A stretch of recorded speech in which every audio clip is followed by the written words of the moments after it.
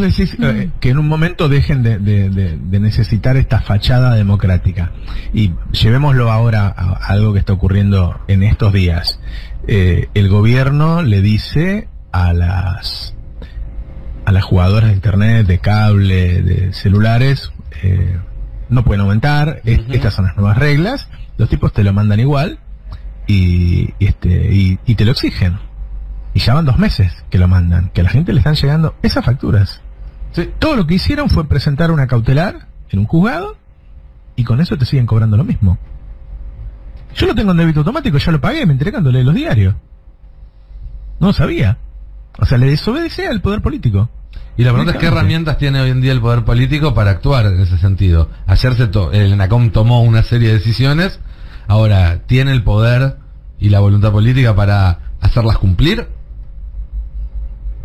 Porque así como, digamos, el, el cablevisión desoyó la orden de no aumentar más del 5% y con una cautelar eh, y con una acción administrativa pudo eh, seguir dando el aumento, ¿no? Hará lo mismo con las multas que le lleguen.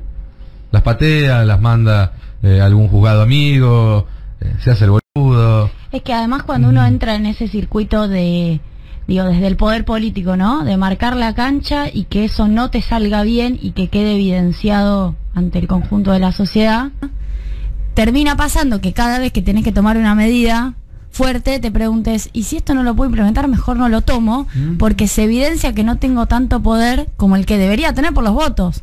Digo, y ahí no, no tiene que ver necesariamente con un problema de voluntad, sino con, bueno, la efectiva eficacia del Estado para regular estas relaciones. Llega un punto en donde la concentración económica, siempre lo discutimos, Roberto, con muchos economistas, hay gente que piensa que la concentración económica realmente es necesaria porque te apalanca masa de inversiones más importantes que en una economía sin concentración. La concentración económica te garantiza volumen, te garantiza eh, grandes proyectos, ¿no? Es una mirada dentro incluso de la heterodoxia económica. Bueno, en ese caso sería si reinvertís.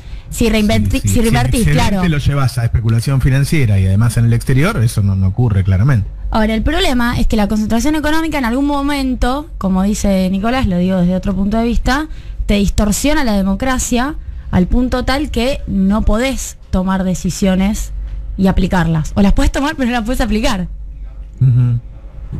Claro, claro. Sí. No, y además esto se une, porque nosotros venimos en un periodo de marchas y contramarchas, ¿no? O sea, voy por Vicentín, salgo de Vicentín, voy por el límite a las Expo, salgo del límite a las Expo, y ahora no es una vuelta atrás del gobierno, es el otro lado que no te responde a una orden. ¿No? Es otro formato de la misma, del mismo equilibrio o desequilibrio de, de poder. Entonces el gobierno termina haciendo las cosas que, que sí puede, digo. Lo que hizo ayer Culfas con la carne, yo creo que Culfas, Catopodis y ahora aparentemente Ferraresi también, son los tipos que hacen cosas, que mueven las cosas, ¿no? Este, ahora no tiene las principales herramientas. Diga, Culfas del precio de los alimentos no maneja ni el tipo de cambio ni el precio de los commodities ni las retenciones. Él se arregla con lo que quedó. ¿sí? El precio del insumo ya está definido. Entonces lo que puede hacer son las cosas que hizo ayer. Dice, bueno, agarremos una serie de cortes, este, negociemos con los frigoríficos, negociemos con los supermercados y que, bueno, por lo menos la gente dos o tres veces por semana co- pueda comprar asado más barato. Eso tiene varios problemas. Uno, por ejemplo, que ayer eh, yo se lo decía al ministro, es, guarda que se le van a fundir las carnicerías, porque si la carnicería tiene el asado a 700 y el, y el supermercado lo tiene a 400, ¿viste? Y la verdad es que es, es más difícil de hacerlo con las carnicerías. Es, es real, es más difícil. Es más difícil. Es más Pasó difícil. lo mismo con precios máximos, ¿viste, Roberto? Que en algún momento hubo almacenes o algún sector no supermercadista que decía, yo no puedo más con esto porque a mí los insumos me aumentan más. El supermercado Claro. está integrado verticalmente, yo no. Claro. Entonces, en algún punto Claro. tenés que empezar a manejar los precios de la cadena aguas arriba o para atrás, si querés. En el caso de la carne, estamos con, con el agua al cuello en el sentido de los plazos. eh, y esta, yo creo que esta reversión está bien. Y yo le decía a Nico al inicio de la columna, es un dato para la sociedad, más allá de que sea parcial, más allá de que no esté en todos lados, que sea solo el supermercado, y que hay que ver si alcanza las toneladas, como decía recién el de ABC, es un dato el hecho de decir, che, los precios pueden ir para atrás. Pueden ir para atrás.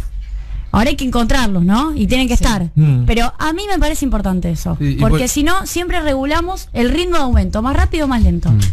Y políticamente hay dos problemas también ahí que, que creo que hay que, que poner en, en la mesa. Uno tiene que ver con esto que comentábamos recién, que nosotros cuando fue lo de Vicentín, decíamos, el, el peligro de esto es que le tomen el tiempo al gobierno. Mm. Y parece ser lo que está pasando, digamos, ¿no? De que hay eh, cierta... Sí, bueno, la expresión es muy clara, le tomaron el tiempo, encontraron cómo hacer para neutralizar las iniciativas del gobierno les pueden resultar eh, molestas o, que se meten con sus intereses. Y lo segundo es cómo se comunica esto también, porque cuando uno va y pregunta a los funcionarios o ve entrevistas que le hacen en otros medios y demás, hablan de correlación de fuerzas, hablan de negociar y demás. Y a la persona que no le alcanza para, para comprar ni siquiera el hueso para el puchero, las palabras correlación de fuerza no le significan absolutamente nada. Vos no le podés explicar a la persona que, que a lo mejor eh, no tiene con qué darle de comer a- a sus hijos, que la carne está barata solamente los miércoles y los fines de semana y no en la carnicería del barrio, sino en el supermercado que le queda a 40 o 50 cuadras, eh, porque no da la correlación de fuerzas. Vos a esa gente le, le tenés que dar una respuesta. Es, Yo te, te agrego algo, el, el supermercado, y, y te aclaro que yo valoro que Culfas haga esas cosas, que Culfas sea este, un heterodoxo que arma mesas en cada sector, porque además algunas están llevando a que la producción suba muy fuerte, como el textil, el calzado y todo eso, ¿no? No, no es que no lo valoro. Te digo las limitaciones que tenés cuando solo haces este tipo de claro. ¿sí? si vos- una es cuando vos pon- pones una oferta que solo es en los supermercados, es una oferta para la clase media, no para los pobres. Porque el pobre dejó de ir al supermercado, porque viajar al supermercado significa un gasto, salvo que tengas la, la- la casualidad de que queda cerca. De los Sí, supermercados claro. no hay tantos, No. entonces en general te queda lejos. Están en las Entonces, grandes vos no vas ciudades, a hacer una compra pequeña, no vas a hacer una compra pequeña al supermercado. Claro, eso está demostrado además, Roberto, que los que van al supermercado van con la compra grande, por ende necesitan una disponibilidad de dinero, una especie de ahorro de 2 lucas, 3 lucas, de ahí para arriba, porque si no, no tiene sentido. y después la la compra chica es lo que empieza a pasar en momentos de crisis. Y después la contradicción, porque te acordás, Roberto, que la semana pasada, hablando sobre este mismo problema, desde el gobierno planteaban que una de las soluciones posibles a este aumento de precio era descentralizar el comercio, ¿sí? Abrir 200 mercados populares, que sean eh, itinerantes, ir llevando la experiencia del mercado central a distintos lugares, algo que ya se intentó otras veces, no es tan sencillo, pero bueno, que tiene, digamos, determinada filosofía detrás. Y ahora esta medida, que entiendo que tiene que ver con la coyuntura, que es de corto plazo y que era actuar sobre un problema urgente, pero que va en el sentido opuesto, porque concentra más la compra. Entonces, ahí también pareciera verse esto que vos decías, de distintas áreas encarando el mismo problema con distintas líneas políticas. Y eso sí es, Esto es lo han hecho tema. todos los ministros que yo recuerdo. Digo, Moreno hacía lo mismo. Sí. Moreno eh, negociaba con los supermercados. ¿Entendés? Sí, Eh, sí. y, y el comercio pequeño quedaba fuera. Y la gente no tiene idea de la cantidad de puestos que hemos perdido en, en las últimas décadas en almacén, en carnicería, en verdulería, en fiambrería, este, en ferretería, en bazar, en todas las cosas que se venden en un supermercado que hoy tienen hasta 50.000 ítems. Claro. O sea, el, el mundo no se puede dar el gusto hoy, con la robotización y qué sé yo, de perder empleos en el comercio. Mm. Ahora, yo lo- repito, entiendo, por- porque yo, yo lo tomé como una buena noticia eso, no como una mala noticia. ¿sí? sí, sí, lo fue, lo fue. Y, y yo valoro a, a los ministros que hacen heterodoxia y que piensan todos los días cómo solucionar los temas. Lo que digo es que si vos no te moves en la macro, o sea, yo te diría tipo de cambio y precio de commodities, todo lo otro siempre es insuficiente o tapa, como es la manta corta, ¿no? Bueno, ahora está por los pies, y los pies que soy, la carnicería de barrio y los más pobres que no pueden ir al supermercado. Por eso la propuesta que empieza a surgir de quienes discuten mercados agropecuarios con, con algún tipo de, de crítica hacia cómo se, se los trabaja en general, no, no particularmente en este ministerio, sino históricamente. El Ministerio de Agricultura siempre fue el ministerio de- del poder económico en el campo, ¿no? Y, eh, siempre han tenido fracciones hasta del ministerio. Fue un ministerio que incluso con, con gente desembarcando arriba, tenías abajo las líneas muy vinculadas al agro. Y Así es. Eh, Eso es interesante para mirar, porque cuando uno habla con, con gente de la línea, bueno, se encuentra con miradas muy parecidas por momentos, no voy a generalizar, pero por momentos a las que sostienen en algunas entidades. Entonces lo que te termina llevando esta discusión de aguas arriba es, bueno, discutamos el precio de la faena, discutamos el precio de la media res y que se regule, y que se regule en un mercado en donde todo pase por el mismo mercado, porque lo que te plantean los que conocen el mercado de la carne es, bueno, tenés un mercado eh, común de novillo, de, todos los cortes, en donde absolutamente se abastezca a todo el mercado de carnicerías o de distribución en supermercados. Tenés supermercados integrados verticalmente, tenés faenas desreguladas. Bueno, ahí hay que trabajar, porque ¿cómo controlas que la media res que compra este, la carnicería no esté a un precio muchísimo más elevado que la del super? No, no tenga la menor duda de eso. claro, sí. Además, los, los super grandes tienen frigoríficos propios. tienen frigoríficos propios. Este, digo, eh, acá hay dos temas, vos lo sabes muy bien. Uno es el nivel de precio que tiene Argentina por, por la por, lo monopolio, por lo oligopolio, y otra es la inflación, que es, que es distinto. La inflación es, es extendida y difundida. Y tenés un par de cosas, porque la verdad el gobierno hay que reconocer que le pasan cosas, ¿no? Hmm. O sea, hereda una situación caótica, después le viene la pandemia y después le viene la suba del precio de los commodities. Sí, Inesperada, fue un condimento, fue, un aditivo al plato. Bueno, te diría que es el problema que tenemos hoy, más grande. Exacto. ¿No? Y, hace tres meses no sabíamos que existía, no sabíamos que iba a pasar eso. No sabíamos.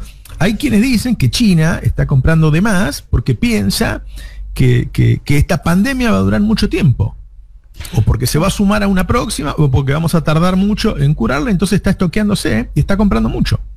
Al punto tal que está bajando un poco el precio de la carne ahora.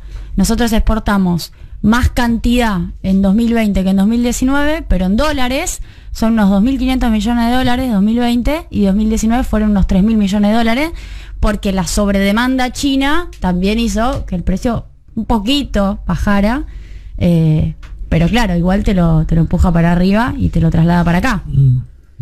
El tema es, o sea, es, así, hay, que entender que tiene varios problemas el gobierno. Lo que yo digo es que mientras vos a la sociedad le muestres que no puede comprar carne, que no puede comprar pan, y que las em, grandes empresas del país, pero prácticamente todas hoy, ¿eh? Prácticamente todas. Vos agarrás las 500 empresas más grandes y todas están ganando mucha guita. Entonces ahí es donde vos tenés que dar explicaciones. Sí, claro. ¿Eh? Porque no, no es que, no, estamos todos mal. No, no estábamos todos mal. Te digo mal. En, 2019 estábamos todos mal. Macri había logrado que también los empresarios perdieran plata. Hoy no. Hoy no es así. Incluso los sectores que estaban, este, que estaban mal, gracias a la política industrial, están mejorando. Están mejorando. Te digo que está mucho puesta la expectativa en el gobierno de que esos sectores suban los salarios fuerte en este año. Bueno, en automotriz esperan eh, medio millón de autos, es un poco la meta, que parece bastante realista, eh, considerando que venimos de 400 y pico mil de unidades. Y es mucho más realista que lo que quería hacer Macri, que te planteaba el plan de un millón de autos y, lo redujo a 300 mil. Y, en este... y eso va a generar puesto de trabajo o va, o va a sostener y aumentar salarios, una de dos y es uno de los sectores clave de la recuperación. Y ya. Eh, hace unos días volví a mirar la tele porque me tenía podrido la tele, me, hacía mal, qué sé yo. Y entonces repaso un poco los canales, que lo que miro yo, que son noticias. La verdad es que la diferencia a favor de 5N es abismal. Es abismal. Son los únicos que hacen periodismo. Son los únicos que hacen periodismo. Y me acordé cuando lo vi a, a Mariano Martín esta nota, porque es espléndido el laburo de Mariano Martín, y de todo ese equipo de 30, 40 años que han conformado, digo, como con Mariano, con Guarino, con Merkovich, con este Iván Jagroski, con Darío Gaño, no, sé, seguro que me olvido eh, alguno. Eh, la diferencia con el resto es este, nada, algunos hacen periodismo, algunos te va a gustar más, otro menos, cuando yo los nombro, pues dicen, ah, pero este, están haciendo periodismo. Después cada uno piensa lo que quiere. Están buscando información, chequeándola y contándola. Eso. Todo lo demás es ficción. Todo lo demás es una novela. No, Mariano Martín dice que en febrero el, gobierno va a lanzar un acuerdo de precios y salarios con empresarios y sindicalistas para este, encarrilar ambas variables en torno de la inflación presupuestada para el año, que es este del 29%. Y ahí tenés varios problemas. Yo, todo lo que puedan hacer, eh, mejor, digo, háganlo. Eh, primero que las cosas que pone el gobierno no las pone obligatorias, las sugiere, ¿no? Entonces ahí hay todo un tema. ¿viste? Este, sugerís y qué sé yo, no sé, ustedes este, que, que están en el mercado periodístico, lo- lo- los medios después te pagan lo que sugiere el gobierno.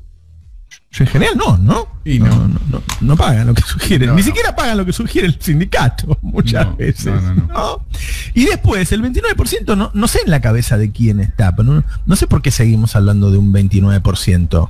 ¿Quién, ¿Quién dijo que la inflación va a ser el 29%? No conozco ningún economista que diga que es el 29%. Y mira que yo no soy amigo de los econochantas, ¿eh? Este, yo soy amigo de esos heterodoxos, pero no conozco nada. De hecho, el gobierno, dos economistas del gobierno me dijeron, nosotros estimamos una inflación del 40%. Vamos a tratar de bajarla. Así que ese 29 no existe en ningún lado. Eh, eh, ya voy con ustedes, que tenemos